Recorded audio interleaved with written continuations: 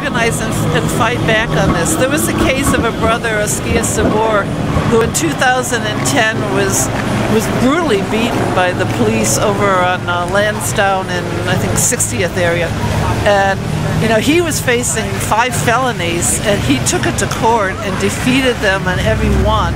You know, and wow. is now turning around and suing them. But you know, it's like but his in his case, a, a, whole coalition came together and organized to support him and didn't let the case die. Yeah. And they were in court every day, so the jury saw that.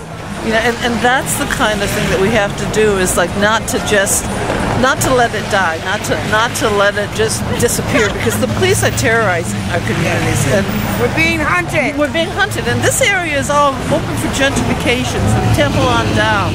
So the idea is that if you if you go after the youth, particularly the youth of color, and you you know push them back, push them back, eventually this is all going to be white, this whole neighborhood, and you won't recognize it for what you got here oh, now. That's what they got in mind. That's what they got in mind. Mm, thank you.